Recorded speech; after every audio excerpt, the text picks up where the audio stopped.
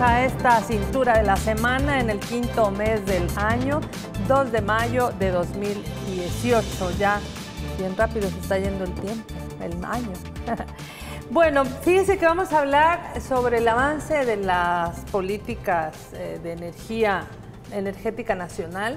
Para ello nos acompaña el ingeniero eh, Mario Cáceres es director de eficiencia energética del Consejo Nacional de Energía. Bienvenida, buenas noches. Muchas gracias y saludos a todos. También nos acompaña el ingeniero Josué Palacios, él es director de Desarrollo de Energías Renovables, siempre del Consejo Nacional de Energía, CNE. Bienvenido, buenas noches. Muchas gracias, buenas noches María Teresa, buenas noches a todos.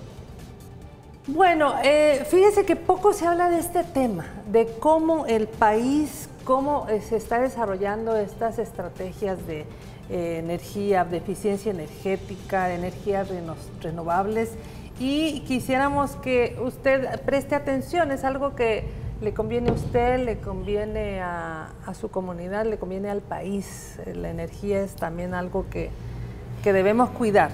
Eh, yo quisiera que para iniciar nos pudieran hablar, ingeniero Cáceres, Mario Cáceres, sobre esta instancia del Consejo Nacional de Energía, eh, eh, ¿quiénes la conforman? ¿Qué es? Eh, ¿Qué hace? Sí.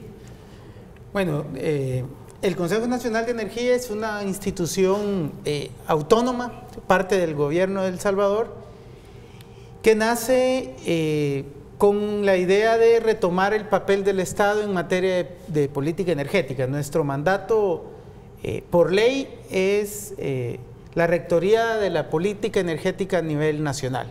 Es decir, velar por el desarrollo eh, energético del, Salvador.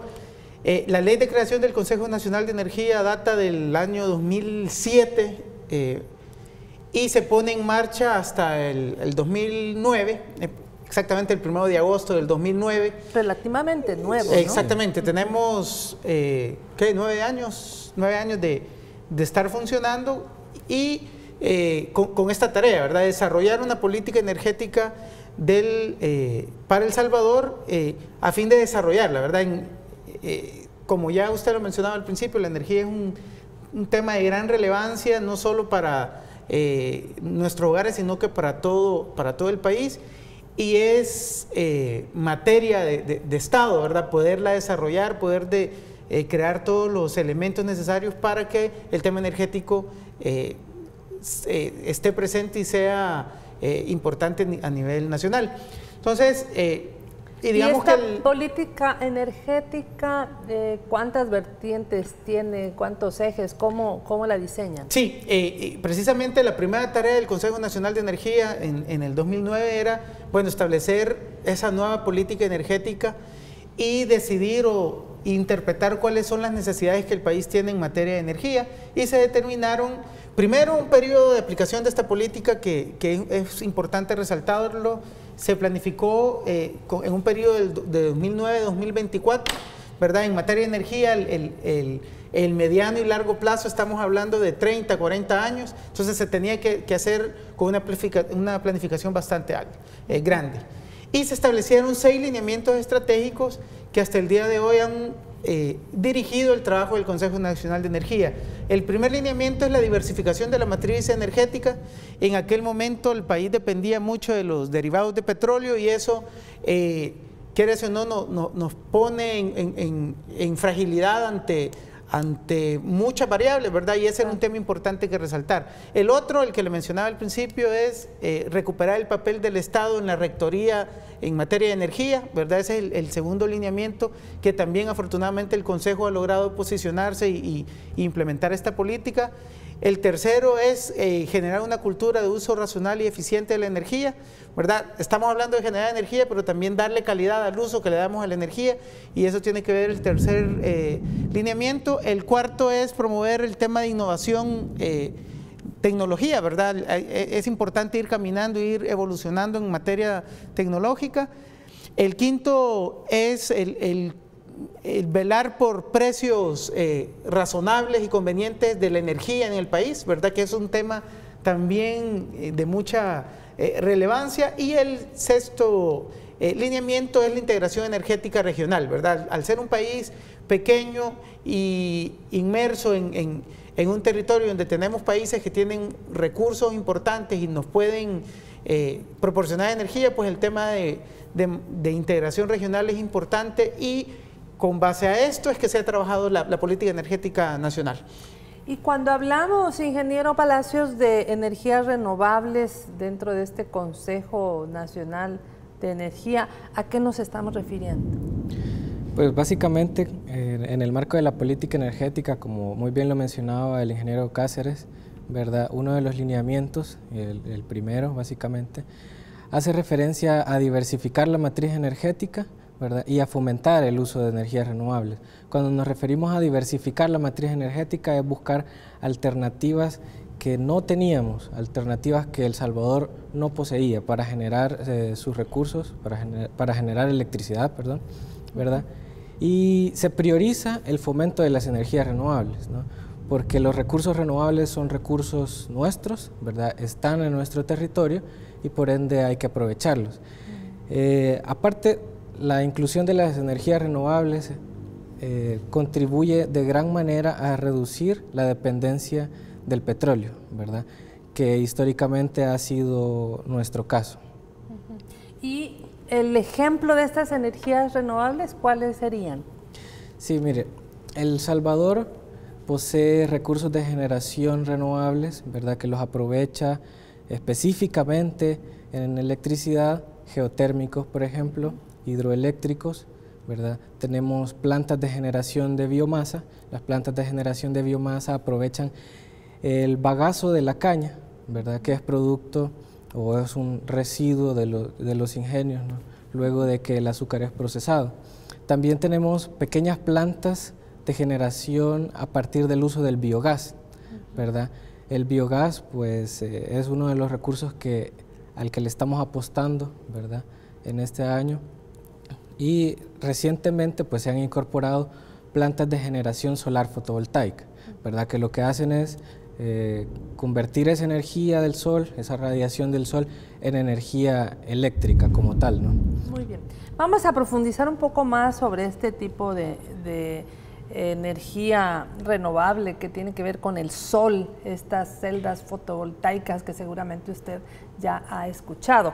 Pero antes de pasar a eso, eh, tenemos eh, una, eh, un pequeñito video que nos ha facilitado el Consejo Nacional de Energía justamente para que conozcamos un poco sobre qué es la eficiencia energética. Esto lo veremos a continuación.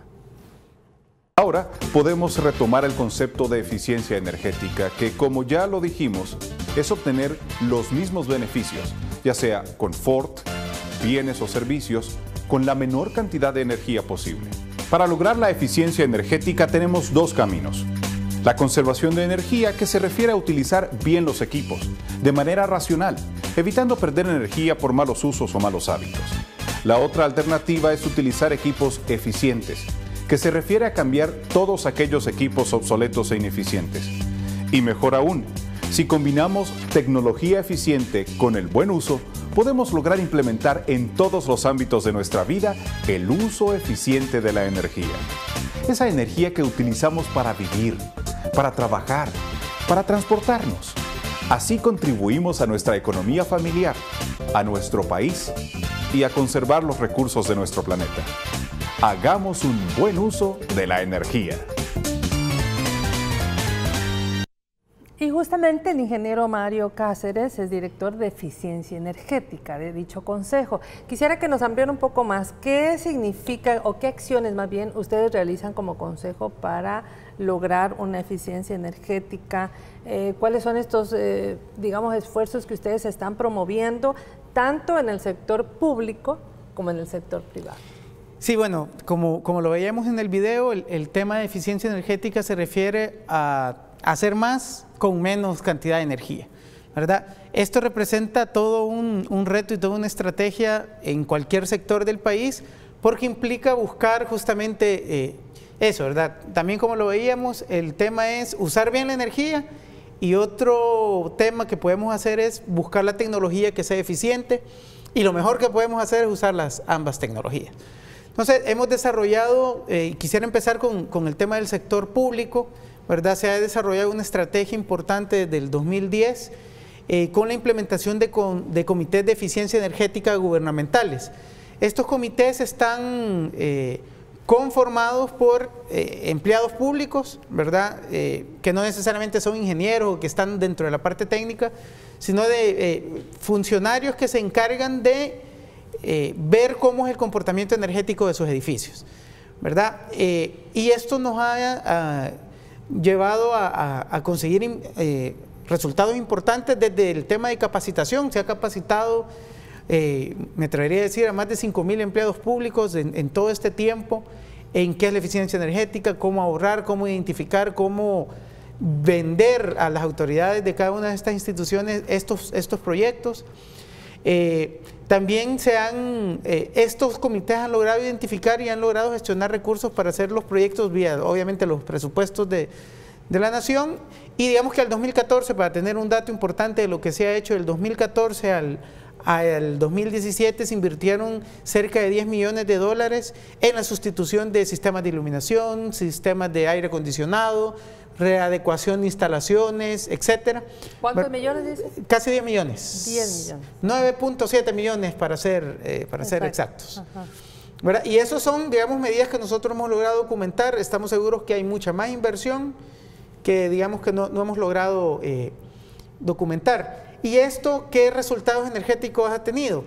Eh, de acuerdo al, planteamiento de línea base, es decir, hacia una medida de consumo de energía que hemos calculado de cómo debería de ser el consumo de energía en el 2017 y cómo es realmente, hemos eh, llegado a, documentar un ahorro cerca del 19% de lo que eh, pudiéramos haber consumido en el sector público, ¿verdad? Eh, también con respecto al promedio de los últimos cinco años eh, en el consumo de electricidad, el 2017 presentó una reducción del 1% con respecto al promedio que, que, viene el consumo. Esto nos indica que el sector público cada vez en promedio está consumiendo menos energía gracias a estos, a, estos cambios de tecnología y, demás, ¿verdad? En el sector privado también hemos acompañado muchos esfuerzos de parte de gremiales empresariales, empresas eh, directamente, y lo hemos hecho eh, tras dos vías importantes. Primero es el programa El Salvador Ahorra Energía, que es un programa que reúne tanto a la empresa privada como al sector público en coordinar esfuerzos en materia de eficiencia energética. Y este programa eh, o de este programa surge el Premio Nacional Eficiencia Energética, que si bien es, un, es, un es una acción de promoción y de incentivo a la eficiencia energética, hemos logrado a través del premio desarrollar cerca de 15 proyectos en eficiencia energética en, el, en la micro y pequeña empresa, ¿verdad? Eh, que han, se han postulado al premio eh, y que han, han logrado... Eh, concretar sus proyectos vía el apoyo que el premio les, les, brinda, ¿verdad? Que por cierto, en, en, este año estamos por desarrollar la cuarta Pero este edición no es del el premio. ¿Cómo se llama este premio? El Premio Nacional a la Eficiencia Energética. Sí, que estamos en, en, este año celebrando la cuarta edición, ¿verdad? Estamos todavía en la etapa de postulación de proyectos, ¿verdad? Y busca eh, en, eh, no solo promover la eficiencia energética, sino que reconocer y premiar tanto el esfuerzo del sector público como del sector privado en, materia de eficiencia energética, ¿verdad? Hemos colocado en, cada edición cerca de o arriba de los 120 mil dólares en premios y en, lo que implica el, desarrollo del premio y eso nos ha permitido también avanzar, ¿verdad? Somos eh, eh, muy orgullosamente el, único país en Centroamérica que tiene un premio de este, de este tipo y los resultados que tenemos en, materia de promoción son importantes porque ahora eh, justamente el, tema de eficiencia energética ha cobrado más fuerza, no solo como una moda, sino que como una apuesta estratégica para el desarrollo económico tanto de empresas como del, del país. Claro, porque esto implica no solamente ahorro en términos económicos, implica también una contribución al cuidado del medio ambiente, ¿no? correcto. Que, es, la, madre tierra es la única que tenemos, no hay otra. Y, también tiene que ver con todo un tema de, formación, de mentalidad, ¿verdad? Aquello de que desde la casa, que yo, si yo no voy a usar ese foco, pues lo apago. Sí, y, justamente eh, nuestro objetivo es ese, ¿verdad? Justamente el, el lineamiento estratégico es generar cultura. Esa cultura nos permite poder realizar acciones, identificarlas, medirlas y poder ir más allá de, simplemente el ahorro, como usted lo, mencionaba, ¿verdad? Hay, hay, implicaciones medioambientales importantes que vía el tema energético podemos eh, solventar. Claro que sí. Bueno, eh, ingeniero Palacios, históricamente El Salvador eh, en la producción de electricidad, usted ya lo mencionaba hace un momento, ha sido pues altamente dependiente de los derivados del petróleo, es como lo más tradicional. Eh, sin embargo, usted como encargado, digamos, de estas energías renovables dentro del Consejo, quisiera que nos dijera cuáles son estos esfuerzos que está realizando el país para disminuir esa dependencia a través de otra matriz, digamos, de, energética, otra matriz de energía renovable. Si nos pudiera hablar un poco de cómo se avanza en esta materia en el país. Okay. En relación a la diversificación de la matriz energética, pues les comento que hemos concretado de manera exitosa cuatro procesos de licitación de energía que se traducen en inversiones superiores a los 1.312 millones de dólares. Adicionalmente se han promovido inversiones como la ampliación de centrales hidroeléctricas, proyectos fotovoltaicos, ampliación de ingenios, por un monto estimado de 660 millones aproximadamente. Todo esto en el marco de la política energética. Nuestro objetivo, nuestra misión es fomentar el uso de las energías renovables. Las energías renovables han pasado de tener una participación en la capacidad instalada de 52% en 2014 a un 60% en 2017. ¿verdad? En estos números pues, se reflejan las acciones, se reflejan todos los esfuerzos que están ¿verdad? Eh, han sido, que han sido desarrollados por el Consejo Nacional de Energía. Eh, este porcentaje seguirá aumentando, porque todavía tenemos proyectos que están en construcción, que esperamos que inicien operaciones en los próximos meses, ¿verdad? Todo esto siempre en el marco de la política energética nacional. Para comentarles un poco sobre cómo cerró el año 2017 con estadísticas. En, eh, en 2017, la generación de electricidad a partir del recurso hídrico fue de 25.2%, el geotérmico de 21.6%, biomásico de 6.4%, solar fotovoltaica 2.4%. En este porcentaje entran eh, grandes plantas de generación como la que eh, entró en operaciones eh, en abril del año pasado, ¿verdad? y hay plantas pequeñas, ¿no? Que ¿Dónde están ubicadas estas plantas o son diversas? son diversas, son diversas. Este porcentaje representa básicamente una planta que es la más grande, que está cerca del aeropuerto internacional, ¿verdad? Es una planta de 60 megavatios que es producto de un contrato o de un proceso de licitación, ¿verdad? En el que se buscaba precisamente contratar energía pero que esta fuera energía renovable. Eh, hay pequeños proyectos distribuidos que también proceden de un proceso de licitación que se realizó en 2013. ¿Verdad? Son proyectitos alrededor de 1.2 megavatios de capacidad, ¿verdad? que están en diferentes zonas del país, occidente, centro y oriente. Eh, comentarles también ¿verdad? que la dependencia o que la generación de electricidad a partir de derivados del petróleo ha disminuido. En 2017 cerramos con un 18.9% del uso de derivados del petróleo para generación de electricidad e importamos un 24.8%. El tema de las importaciones es importante aclarar de que sí tenemos la capacidad de generar toda la energía que demanda el país, ¿verdad? pero importar energía eh, de, de la región ¿verdad?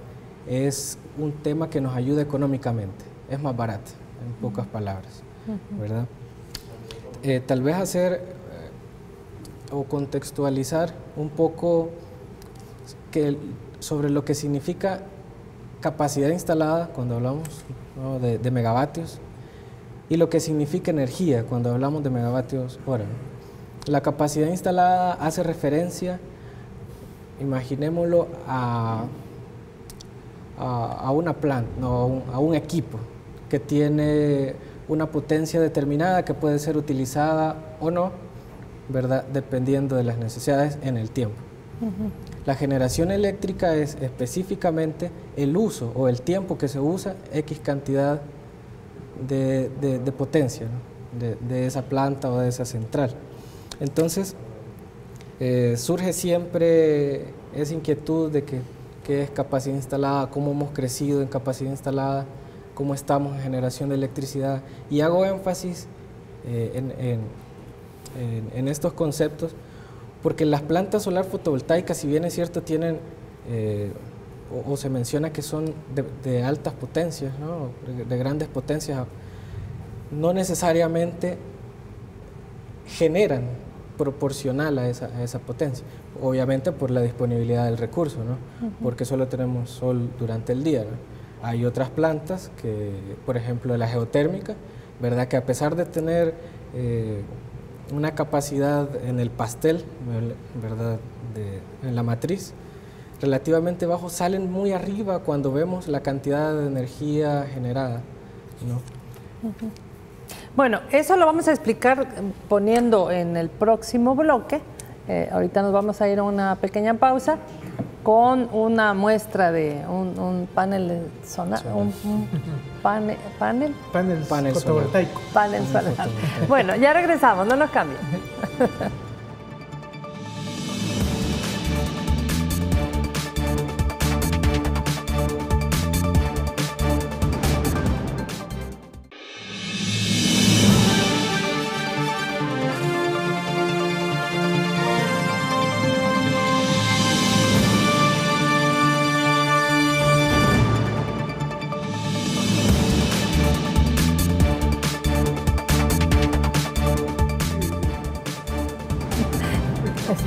les estaba preguntando si son ingenieros eléctricos.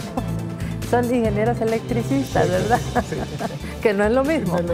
Muy bien. Eh, sobre precisamente esta energía renovable no convencional en El Salvador, quisiéramos presentarle a continuación un mensaje del secretario ejecutivo del Consejo Nacional de Energía, Luis Reyes, y también un testimonio de una empresa ganadera que produce biogás. Este es material siempre cortesía del CNE a continuación. En el marco de la política energética nacional impulsada por el Consejo Nacional de Energía, podemos destacar que una de las principales acciones para la transformación de la matriz energética de nuestro país consistió en la creación de un marco regulatorio adecuado para la inclusión de las energías renovables a dicha matriz. Estos marcos regulatorios permitieron el impulso de dos procesos de licitación para nueva generación con base en fuentes de energía renovable, que generaron contratos de 12 megavatios para proyectos de generación distribuida con recursos fotovoltaico, biogás y pequeñas centrales hidroeléctricas. También se logró la contratación de 94 megavatios de generación en el mercado mayorista con proyectos fotovoltaicos. Estos proyectos ya son una realidad que consolidan el camino hacia una menor dependencia de los derivados del petróleo, hacia una verdadera sustentabilidad energética en nuestro país. Nuestra empresa es una empresa ganadera, ha sido productora de leche por años, la leche pues se entrega a la salud, la cooperativa ganadera Sonsonate. Hemos tomado la decisión con mis hermanos que son mis socios para realizar este proyecto digamos novedoso para nuestro país.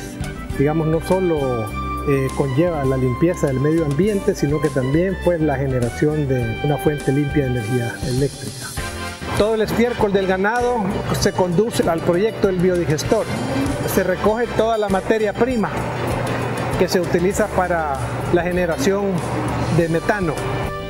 Antiguamente toda esta materia prima, que es el estiércol del, ganado, se canalizaba en las acequias de riego para abonar a los potreros. Eso en alguna medida contaminaba el medio ambiente. Parte de esto posiblemente se iba en alguna quebrada o podía llegar a algún río. Ahora ya no, prácticamente todo esto se canaliza en el, en el biodigestor. Este es un modelo, digamos, es un ejemplo para el resto de empresarios, ganaderos de la región, a que puedan replicar este tipo de proyectos. Bueno, ahí veíamos esta maravillosa maquinaria que, bueno, yo no sé si es compleja o no, pero para producir biogás, imagínense la utilización del estiércol de la vaca para producir energía, qué maravilla. Ingeniero Palacios, quiero que nos explique este tema de el porcentaje que ustedes piensan para 2019, cómo va a ser, y también que le explique a la audiencia, porque también lo veíamos en el video, los, paneles solares, ¿no? ¿Son estos que usted tiene aquí? Claro, sí. Este es un ejemplo, ¿verdad? Un panel solar muy pequeño. Específicamente este panel solar, ¿verdad? Procede de un proyecto de generación fotovoltaica, ¿verdad? Para electrificación rural. Con esto pues, se pueden alimentar eh, un pequeño dispositivo que tiene baterías, almacena energía y sirve para un punto de luz. Pero para eh, describirles básicamente el funcionamiento, ¿no? Va a funcionar de la misma manera este pequeño con uno grande. Lo que ustedes ven acá en color azul son celdas fotovoltaicas. Las celdas fotovoltaicas están hechas de un material que usualmente es silicio, ¿verdad? y, y, lo que hacen es convertir la radiación solar, ¿verdad? En energía eléctrica. Mm. Esa energía eléctrica necesita un tratamiento. Nosotros la conocemos desde el panel solar como energía de corriente directa ¿no? o DC. Hay que, para utilizar esa energía, ¿verdad? como cotidianamente lo hacemos, hay que utilizar equipos eh, que se llaman inversores. Los inversores adecúan ¿verdad? toda la producción de energía que se tenga en el momento ¿verdad? a las condiciones que se tienen en la red de distribución, la red de la, de la, que usualmente tomamos energía. Por ejemplo, el, el, Hospital Nacional San Juan de Dios de Santa Ana tiene una serie de, de paneles eh, solares con los que eh, calientan eh, el agua para, para, dar la fisioterapia. Sí. Esto también fue hecho con el Consejo, ¿verdad? Sí, fue con apoyo del si, si no, no, me falla la memoria, de, eh, como, parte de un proyecto de cooperación con, con, el gobierno de Austria y Finlandia, si no, si no me equivoco. Esto eh, son unos paneles un tanto diferentes a los que tenemos acá. Estos son calentadores eh, de agua o calentadores solares térmicos, es un nombre técnico, y lo que hacen es justamente calentar agua, aprovechar ese calor de la luz del sol calentar agua a cierta temperatura y justamente la aplicación sanitaria de, este, de estos paneles es ocupar esta agua caliente para, para fisioterapia. Esto, este proyecto que se realizó, si no, si no mal recuerdo, allá por el 2010, 2012, en, ese periodo, eh, ha traído buenos beneficios porque ya muchos hospitales eh, Alrededor de cinco hospitales nacionales ya cuentan con esta tecnología y han casi que quintuplicado su atención eh, a pacientes que necesitan, sobre todo niños, ¿verdad? Eh, con fisioterapia, eh, en tinas o en remolinos, que se utiliza agua caliente, que antes no lo hacían por el tema de costos, ahora afortunadamente lo, lo hacen y lo hacen todos los días y atendiendo a mucha más cantidad de pacientes, ¿verdad? Y digamos que son los beneficios también de utilizar el recurso renovable que que Josué nos, nos comentaba, pero también eh, de usar de manera eficiente la energía. Sus beneficios son, como también lo mencionábamos al principio, más que un ahorro. Eh, hay, hay, beneficios sociales importantes que, que, conlleva el, buen uso de la energía también. Claro que sí, y en este tema de tener la eh, capacidad instalada, lo que explicaba el ingeniero Palacios, tener esta energía renovable, Entendemos que para el año 2019 se supone que la energía eléctrica renovable eh, en demanda total de energía eléctrica va a llegar más o menos 65%. Yo quisiera que le explicara a la audiencia cómo están encaminando ustedes los esfuerzos para, para tener, eh, alternativas de inversión de, de energía renovable y cómo esto realmente le, contribuye al, país.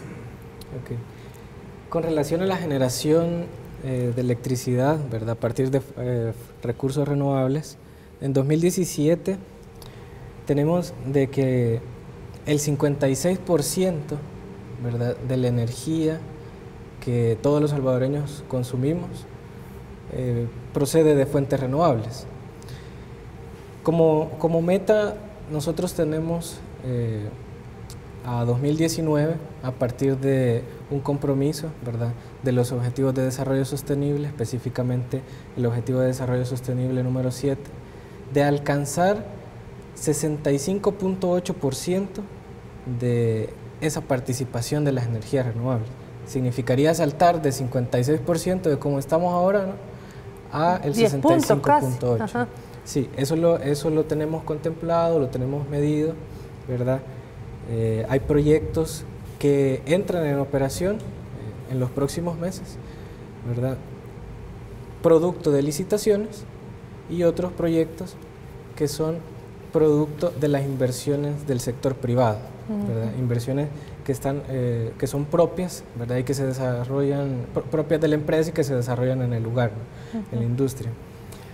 Abordamos, abordamos el tema de, de que todos hemos tenido en algún momento esa inquietud de tener nuestra propia eh, energía, ¿no? de generar nuestra propia energía, eh, siempre en el marco de la política energética, con eso eh, trabajamos en la creación de una normativa, la conocemos como normativa para usuarios productores renovables, ¿verdad? Y esta normativa... La famosa UPR. La famosa UPR, que recientemente ha sido aprobada y entró en vigencia a partir de octubre del año pasado. La normativa establece los procedimientos, requisitos y responsabilidades aplicables a la conexión, operación, control y compensación de los excedentes de los autoproductores. ¿Qué quiere decir esto? Que ahora una empresa puede instalar un sistema de generación eh, solar fotovoltaica, por ejemplo, producir su, energía y en el caso o eventualmente que, le sobrara energía, ¿verdad? Voy a poner el ejemplo de un banco. Un banco que usualmente tiene consumos eh, de energía altos, pero que los domingos, ¿verdad? O a partir del sábado al, mediodía, su, demanda baja. Sin embargo, un sistema fotovoltaico siempre sigue generando. En esos momentos se pueden tener excedentes. La mm. normativa busca que esos excedentes sean compensados no pagados, ¿verdad? Compensados, ¿verdad? ¿Qué significa? Que a estas empresas se les instala un medidor bidireccional. Mide si en un momento le tienen excedentes de energía, ¿verdad? Y mide los consumos que tengan en todo momento. Eso se netea y se les compensa en la factura, ¿verdad? Si hay alternativas para que la población pueda vender literalmente esa energía y que reciba eh, dinero. ¿no? Estas, eh, digamos, estas alternativas nacen de impulsar procesos de generación distribuida, ¿verdad? En los que se reserva un pequeño bloque. Más adelante vamos a comentar sobre un nuevo proceso de, de generación renovable distribuida en el que hemos reservado un bloque de 200 kilowatts exclusivamente para los usuarios que tengan ese deseo, esa inquietud de vender la totalidad de la energía que se puede producir utilizando eh, un sistema fotovoltaico sobre sus techos. Qué maravilla que yo ponga paneles solares, dicen que es una inversión alta al inicio, pero que después lo que va a traer es un bajo consumo en la factura energética y que además yo puedo generar recursos con eso, ¿no? sí, eh, definitivamente hay, a, la hora de decidir hacer un proyecto hay que hacer los, los famosos numeritos, ¿verdad? Ver cuánto es mi, la, sí, la, inversión que debo de hacer, pero también eh, cuánto es el beneficio de esa, de esa, inversión. Eh, yo, yo, quiero hacer referencia de una de, las, de las cosas que, que, decía el ingeniero Palacio, y es que, bueno, los procesos de licitación, las normativas que se han que se han construido, que se han acordado con, los diferentes actores del sector, han tenido como un factor común o con énfasis la energía renovable, ¿verdad? Desde el principio, desde la eh, instalación de la política energética nacional y atendiendo este lineamiento, todos estos esfuerzos de la licitación, ¿verdad? La licitación implica una porción de energía, ¿verdad? La licitación le dice, mire, necesito abastecer tanta cantidad de energía en un periodo determinado, pero también se dice bajo qué, eh, qué tecnología se tiene que generar esa energía. Entonces, estos procesos de licitación han, han tenido mucho énfasis, han sido eh, dedicados a desarrollar el tema de, de, eficiencia, de, perdón, de energía, renovable, y eso obviamente nos permite eh, tener, eh, esto se ha trabajado desde, el principio, nos permite tener ahora un avance importante, tener arriba del 50% de nuestra matriz energética que sea renovable y poder establecer metas de cumplimiento que ya el ingeniero Palacio nos decía que es del 65.2%, ¿verdad? Y eh, obviamente esta meta no es al azar, hemos visto todos los proyectos que, que se van a desarrollar, todas las iniciativas, todos los, digamos que los, puntos de interés que existen y, con seguridad podemos decir que esta, esta, meta se va a lograr cumplir gracias a todos estos mecanismos eh, financieros, mecanismos normativos y todas las condiciones que se han creado vía la política energética para que estos proyectos se desarrollen eh, eh, con inversión privada, que es un, tema importante que, resaltar, ¿verdad? Yo quisiera que le cuente a la audiencia de este Premio Nacional a la Eficiencia Energética. Entendemos que es la cuarta edición eh, ¿Quiénes convocan? ¿Qué categorías hay? ¿Cuáles son los requisitos para participar? Y sobre todo, ¿cuáles son los premios que se van a ganar? Sí, perfecto. Eh, estamos, como mencionaba anteriormente, en la cuarta edición del Premio Nacional de Eficiencia Energética. Este es un premio que busca reconocer el esfuerzo eh, en materia de eficiencia energética y se han diseñado cinco categorías. les detallo la, la primera, que es la mejor propuesta de proyecto de eficiencia energética esta es una invitación para que las empresas o el sector privado planifique sus proyectos y lo presente o lo postule para ganarse el qué, ¿verdad? Ganarse apoyo para poder ejecutar su proyecto. El apoyo consiste o el premio consiste en condiciones eh, verdaderamente favorables para poder desarrollar su proyecto, eh, condiciones de financiamiento otorgadas ya sea por el banco hipotecario o el Banco de Fomento Agropecuario, que son los dos bancos que nos están apoyando eh, para poder otorgar Básicamente han reducido en un 2.5% la tasa comercial de interés, han ampliado los tiempos eh, de gracia y los tiempos de ejecución de sus proyectos para hacer aún más viables financieramente los proyectos que se, que se presenten. También Bandesal está contribuyendo a que si usted, por ejemplo, tiene o el empresario tiene la idea del proyecto, pero no ha hecho los estudios correspondientes, Bandesal le, ayuda casi con el 50% de estos, de estos estudios la otra categoría es la mejor, el mejor proyecto eh, realizado de eficiencia energética, ¿verdad? Que, que, busca reconocer a aquellas empresas que ya hicieron el esfuerzo, hicieron inversión y han tenido ya buenos resultados.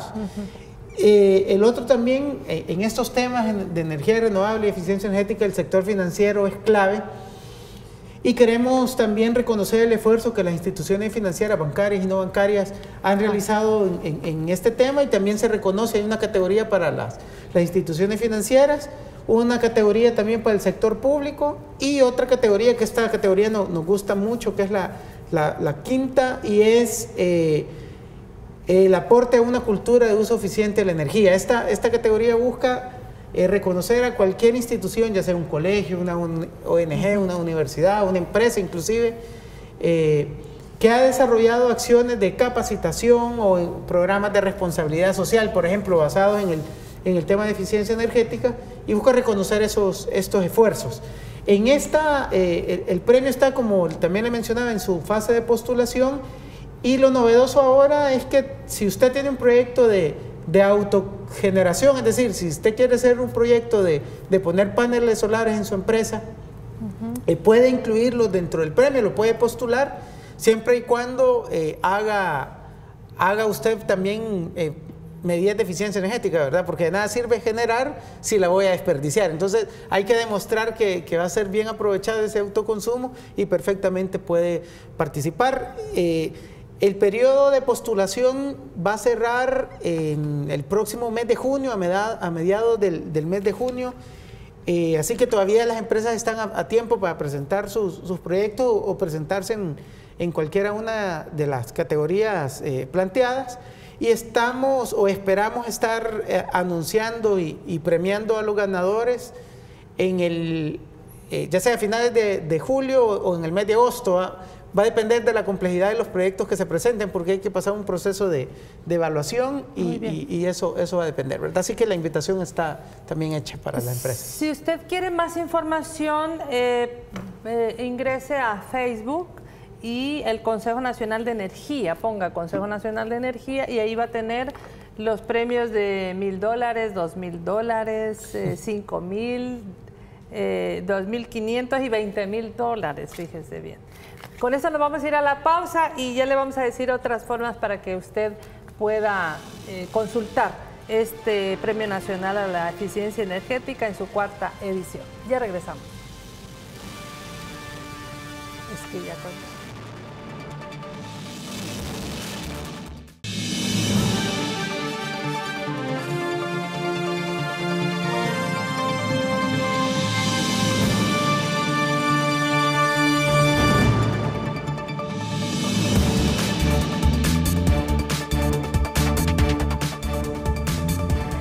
Hablamos aquí con nuestros invitados de lo importante de tener una cultura de ahorro.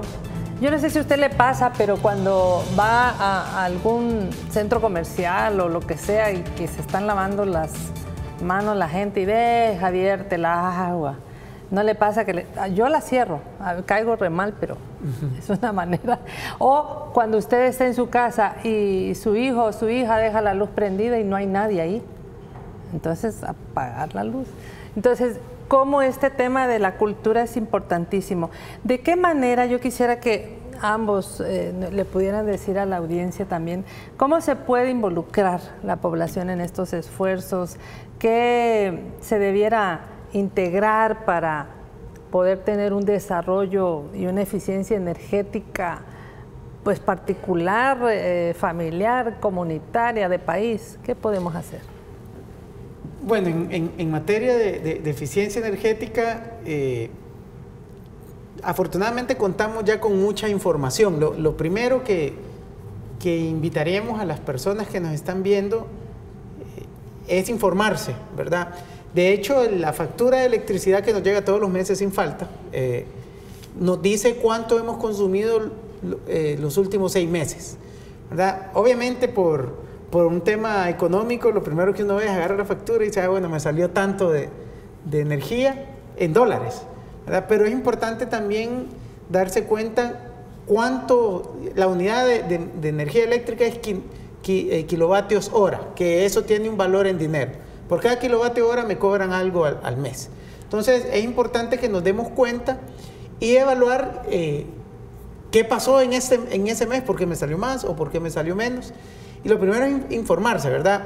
en la página del Consejo Nacional de Energía y en otros sitios que, que ustedes pueden consultar eh, vía internet u otro tipo, eh, se pueden dar cuenta que en los hogares salvadoreños más del justamente el 38% de la energía es usando es por el uso del refrigerador, el otro 13% es por el tema de iluminación y otro 18% es por, la, por el, el uso del televisor.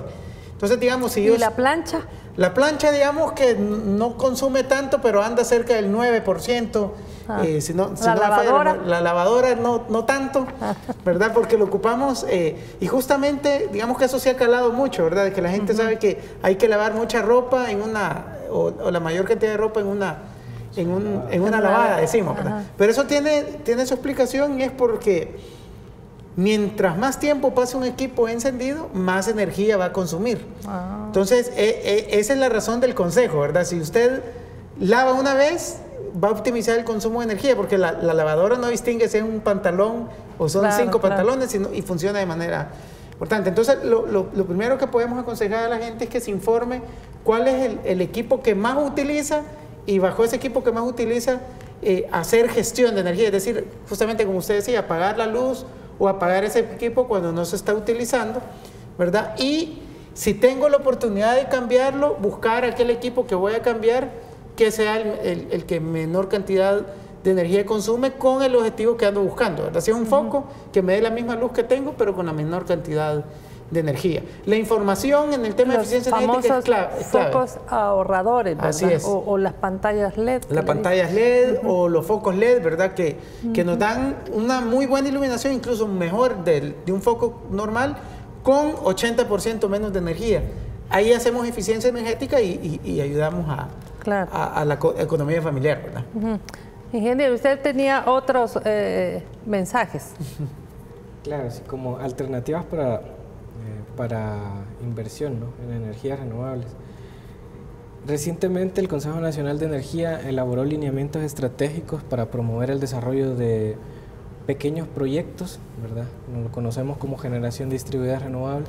Lo que buscamos es promover eh, la generación a partir del uso del biogás, ¿verdad? Pero un biogás que sea producto del tratamiento de residuos orgánicos, de desechos, como el video que, veíamos hace un momento y también busca promover el desarrollo de pequeños proyectos fotovoltaicos sobre techo. Este proceso también incluye eh, una parte, un bloque reservado, como les comentaba, en el que la población puede eh, también abocarse ¿no? cuando este proceso se lance y participar para poder vender energía, ¿verdad? Si fuese el caso ¿no? de que alguna empresa o algún usuario final no tenga esa necesidad o, esa inquietud de vender energía, puede hacer uso de lo que se establece en la norma UPR. La, norma, la norma UPR lo ampara ¿verdad?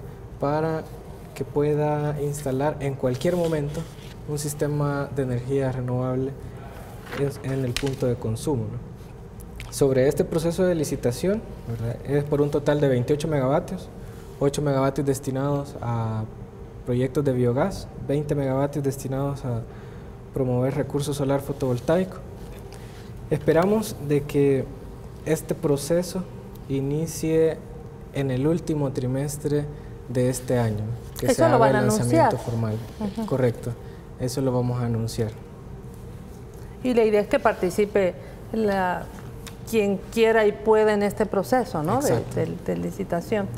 Eh, rápidamente, porque ya me quedan un par de minutos, eh, ¿cuáles son los retos, cuáles son las proyecciones que tienen en materia de, energías renovables, pero bueno, de eficiencia energética sobre todo? Sí, bueno, en, el, tema de, eficiencia energética eh, estamos trabajando fuertemente para mejorar también las condiciones financieras para que los empresarios o las o las personas que quieran invertir en proyectos de eficiencia energética encuentren cada vez más mejores condiciones de, crédito, ¿verdad?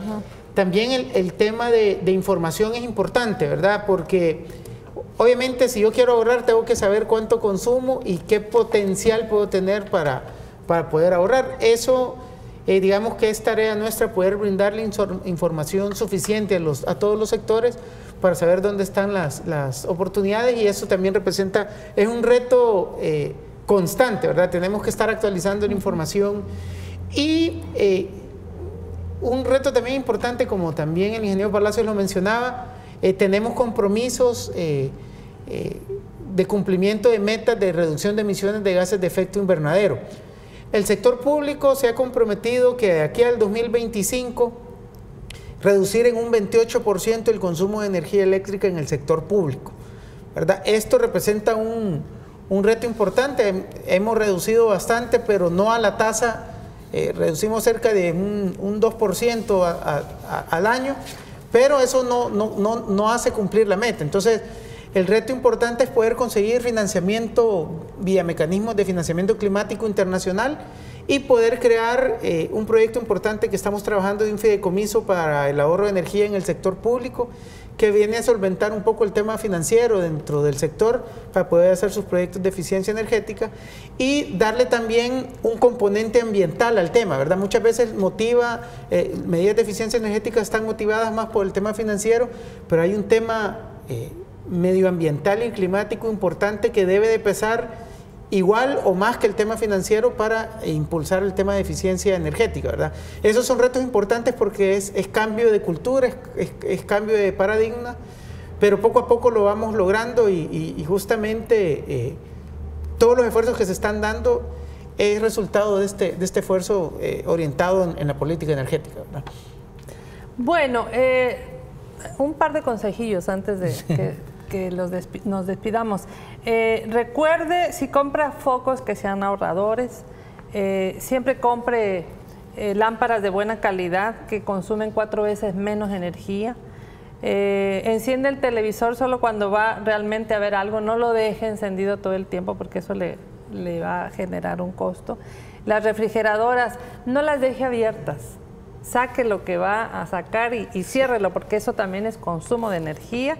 Y bueno, habrá más. Eh, cuidado, apague los aparatos que producen calor, las famosas planchas y todo eso antes de que termine de usarlos. Gracias, ingenieros, ambos, Palacios y Cáceres. A ustedes por el espacio. Muchas gracias. Muchas gracias.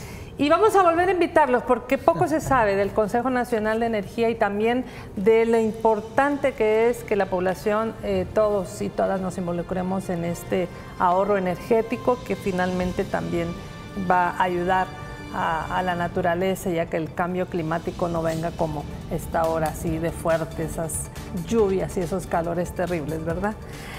Bueno, gracias. El día de mañana a las 7 de la mañana esta entrevista en retransmisión y a las 7 de la noche le invitamos a una nueva entrevista siempre aquí en Gente B.